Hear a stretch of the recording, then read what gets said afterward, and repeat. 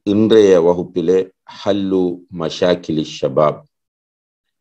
வாலிபர்களுடைய பிரச்சனைகளை தீர்த்து வைப்பது என்கிற ஒரு தலைப்பில் ஆன முக்கியமான ஒரு விஷயத்தை நாம் கவனிக்க இருக்கிறோம். நம் எல்லோருக்கும் தெரியும் மனித வாழ்க்கையில் வாலிப பருவம் என்பது மிக முக்கியமான ஒன்றாகும். எல்லோருமே வாலிபத்தை விரும்பக்கூடியவர்கள் என்பதிலே மாற்று கருத்திருக்க முடியாது. ஒரு அரபு கவிஞர் சொல்லும் போது லைத்த ஷபாபு ஃபஷ்டரைத்து வாலிபம் விற்கப்படுமாக இருந்தால் நான் அதை வாங்கி விடுவேன் என்று சொல்கிறார். இன்று வாலிப வியாபாரம் நடைபெறுகிறது. அதாவது சில உணவுகள் சில பானங்களை உற்பத்தி செய்து இதை நீங்கள் உட்கொண்டால் நீங்கள் என்றும் இளமையோடு இருக்கலாம் என்று சொல்லுகிற போது மக்கள் அதை நாடி செல்கிறார்கள். ஒரு வயது வயோதிபரை பார்த்து நீங்கள் வாலிபத்தோடு இருக்கிறீர்கள் என்று சொல்லும்போது அவர் மகிழ்ச்சி அடைகிறார். ஒரு வாலிபரை பார்த்து நீங்கள் முதுமையான தோற்றத்தோடு இருக்கிறீர்கள் என்று சொல்லும்போது அவர் கவலை அடைகிறார். இவைகளெல்லாம் மனிதன் வாலிபத்தை நேசிக்கிறான் என்பதற்கான அடையாளங்களாகும். மனித வளர்ச்சியிலே வாலிப பருவம்தான் மிக பாரதூரமான ஒரு பருவமாகும். அந்த பருவத்திலே உடலியல் ரீதியான பல்வேறு மாற்றங்கள் சிந்தனா ரீதியான பல்வேறு மாற்றங்கள் நிகழ்கின்றன. சூடான இரத்தம் உடைய வயது வாலிப வயது என்று சொல்வார்கள். இந்த வாலிபர்கள் துணிச்சலானவர்களாக இருப்பார்கள். புதியவற்றை நுகர வேண்டும் என்று ஆசைப்படுவார்கள். தனித்து விளங்க வேண்டும் என்கிற சிந்தனை அவர்களிடம் காணப்படும். இவைகளெல்லாம் வாலிப பருவத்தின் முக்கியமான பண்புகளாகும். அன்புள்ள சகோதர சகோதரிகளே வாலிபர்கள் ஒரு சமுதாயத்தில் மிக முக்கியமான பிரஜைகள் என்கிற அடிப்படையில் அவர்களை இலக்கு வைத்து பல சக்திகள் உலகத்திலே செயற்படுவதை நாம் பார்க்கிறோம். குறிப்பாக இஸ்லாத்தை பொறுத்தவரையில் இஸ்லாம் வாலிபர்களை அந்த பருவத்தில் பக்குவமாக வைத்துக் கொள்ள முயற்சி செய்கிறது. எனவேதான் நபிகள் நாயகம் சொல்லல்லாஹு அலஹி வசல்லம் அவர்கள் சொன்னார்கள் எகுத்தனிம் ஹம்சன் கப்ல ஹம்சின் ஐந்து வருவதற்கு முன்னால் நீ ஐந்தை பயன்படுத்திக் கொள்கின்றார்கள் அதிலே ஒன்றுதான் ஷபாபக கப்ல ஹராமிக். உனக்கு முதுமை வருவதற்கு முன்னால் உன்னுடைய வாலிப பருவத்தை நீ பயன்படுத்தி கொள்கின்றார்கள் உனக்கு முதுமை வருவதற்கு முன்னால் உன்னுடைய வாலிப பருவத்தை பயன்படுத்தி கொள்கின்றார்கள் ஏனென்றால் மஹ்ஷர் நிகழ்வு மறுமையிலே மஹ்ஷர் நிகழ்வு என்பது மிக முக்கியமான ஒன்றாகும்.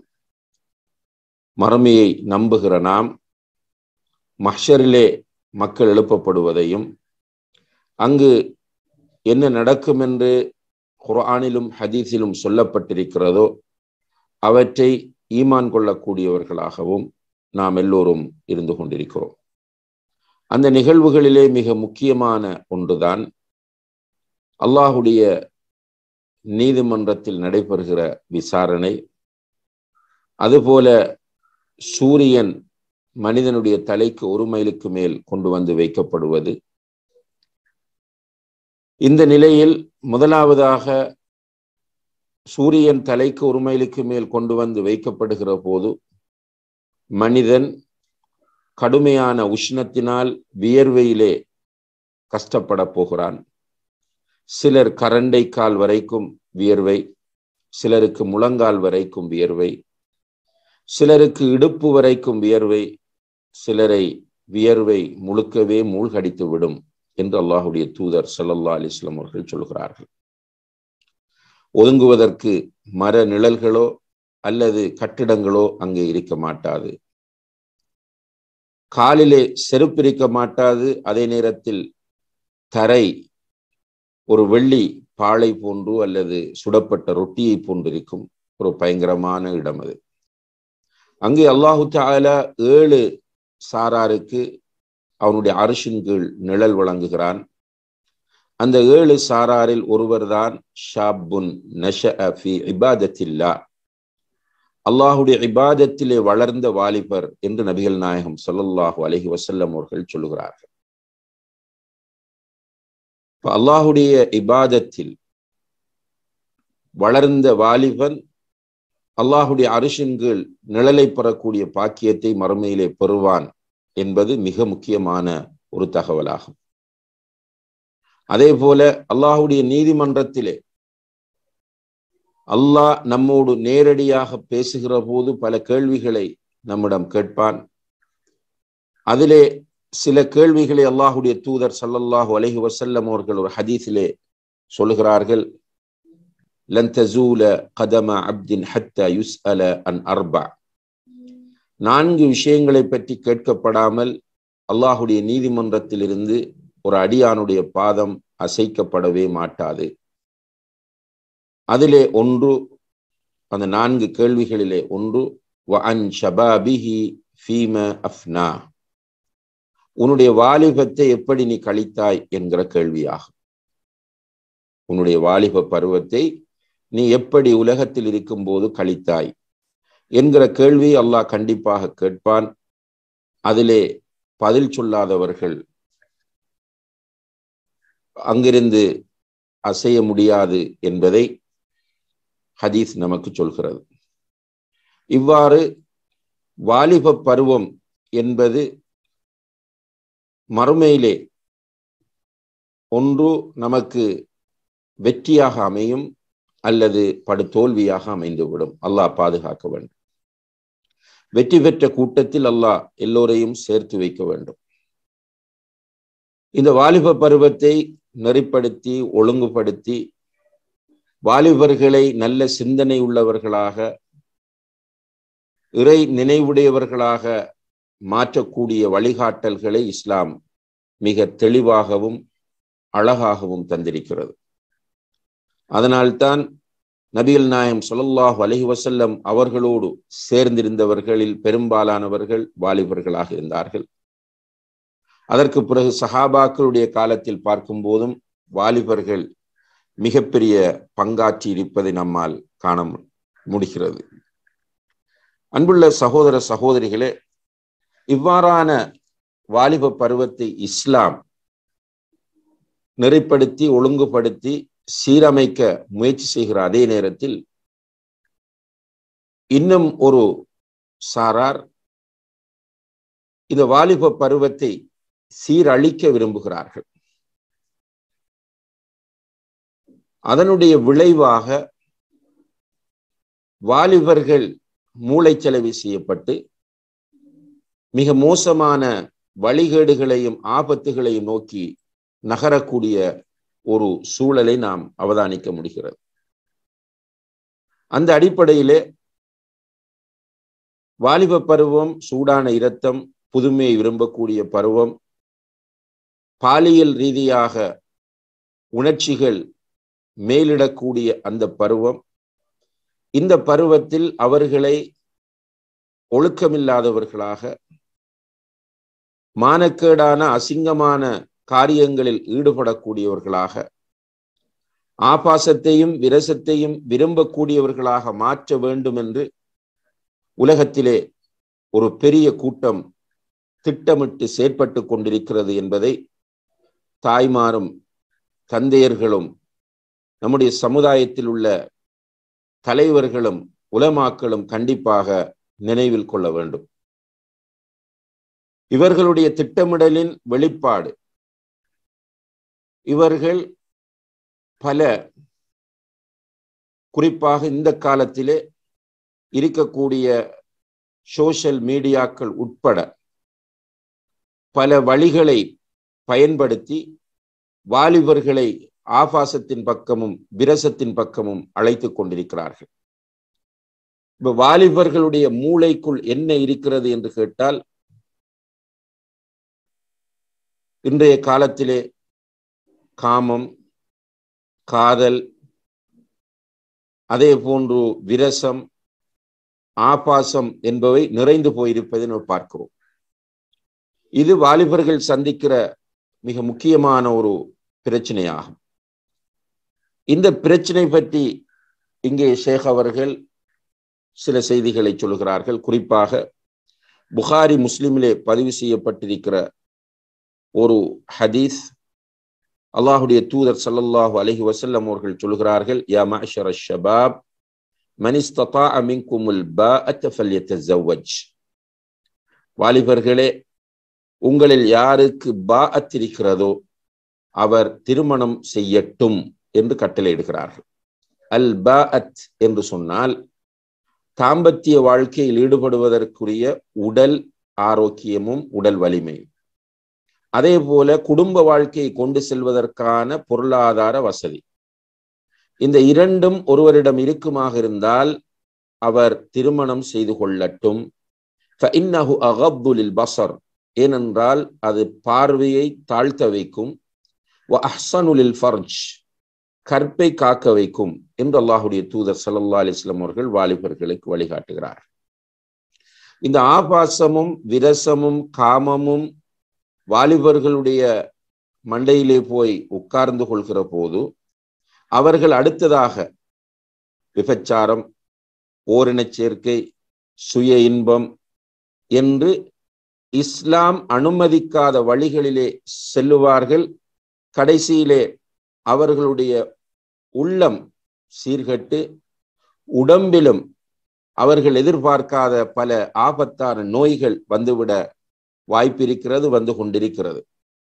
அவர்களுடைய உள்ளம் கட்டுவிடும் போது அவர்களுடைய சிந்தனையும் சேர்ந்துதான் கட்டுவிடுகிறது.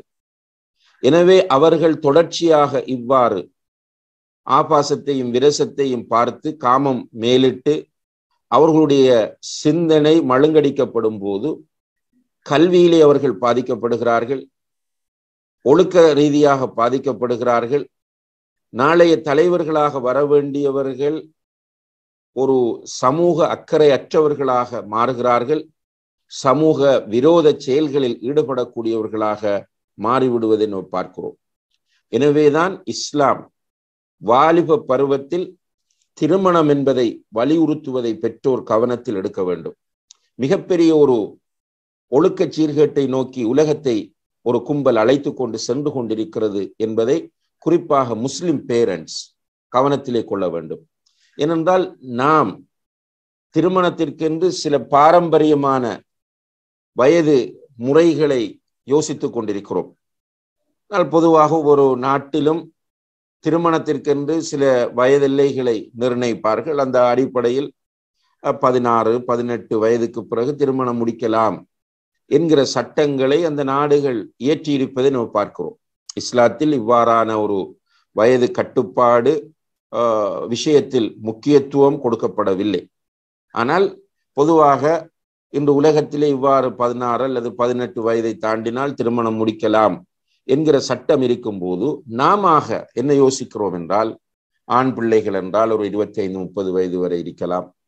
பெண் பிள்ளை என்றால் ஒரு இருபத்தி ரெண்டு இருபத்தி ஐந்து வயதாகட்டும் என்று நமக்கு நம்ம தாயும் தந்தையும் குடும்ப உறவினர்களும் சேர்ந்து ஒரு நிர்ணயத்தை வைத்து விடுவதனால் திருமண வயது அல்லது திருமணம் முடிப்பது என்பது தாமதமாகி கொண்டு போகிறது. இதன் விளைவு என்ன? இன்றைக்கு காதல் என்பது சமுதாயத்தில் தவிர்க்க முடியாத ஒன்று போன்று மாற்றப்பட்டிருப்பதை பார்க்கிறோம். ஸ்கூல் காலத்தில் இருந்து பிள்ளைகள் லவ் பண்ண ஆரம்பிக்கிறார்கள். அதனுடைய விளைவுகள் ஒன்று விபச்சாரம் நடைபெறுகிறது.